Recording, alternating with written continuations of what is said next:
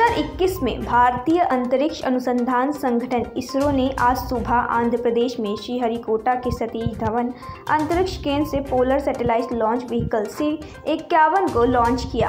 P S L V C इक्यावन rocket के ज़रिए एमेजोनिया एक और दूसरे 18 सैटेलाइट को लेकर अंतरिक्ष भेजा गया है। इसरो ने एक बयान में बताया कि P S L V C इक्यावन पी एस एल वी का तिरपनवा मिशन है।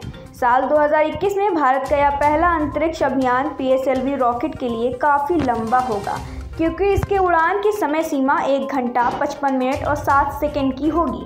रॉकेट की लॉन्चिंग के बाद भारत की तरफ़ से लॉन्च किए गए विदेश सैटेलाइट की कुल संख्या 342 हो जाएगी। स्पेस किट्स इंडिया ने एक एसडी कार्ड में भगवत गीता की इलेक्ट्रॉनिक प्रति को अंतरिक्ष में भेजने के लिए सुरक्षित किया है। इसके अलावा सैटेलाइट पर प्रधानमंत्री नरेंद्र मोदी की तस्वीर भी लगाई गई है।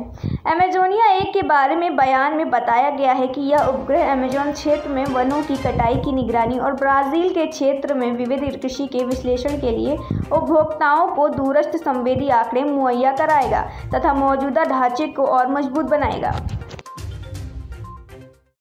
Namaskar, Bomdia. India and Brazil are strategic partners who share a close and multifaceted partnership. On 28th February, we are going to witness a new chapter in this strategic partnership with the launch of Amazonia 1 satellite on Indian Polar Satellite Launch Vehicle at Sriharikota in India. The satellite is going to be launched on 10:24 a.m. Indian time, opening a new era of cooperation between India and Brazil. On this occasion, Amazonia 1 being the first indigenously developed satellite of Brazil, I would also like to greet the scientists of INPE who designed and developed this satellite. During the visit of President Bolsonaro in January last year, India and Brazil had agreed to make space one of the focus areas of cooperation, and I'm glad this launch is happening soon after this decision.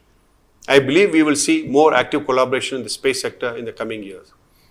Brazil is a vibrant private sector and I believe the scope for partnerships with Indian private sector in this area especially is immense.